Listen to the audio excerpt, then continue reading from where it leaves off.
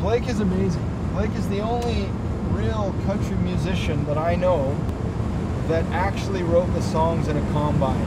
He's the only one that I know that when he sings about rusting and shit on your boot and, and you know your your the, the dirty, dusty roads and highways and, he's actually singing from experience. You know, he hasn't he doesn't go shop for songs down in Nashville through some catalog and pick the ones that, you know, that suit him. He he writes the ones that suit him because that's what he knows. He grew up on a farm. He grew up on a farm that his grandfather bought from Wilf Carter. I mean, that in itself is a country song. His life is a country song without him even writing it. He, he has no choice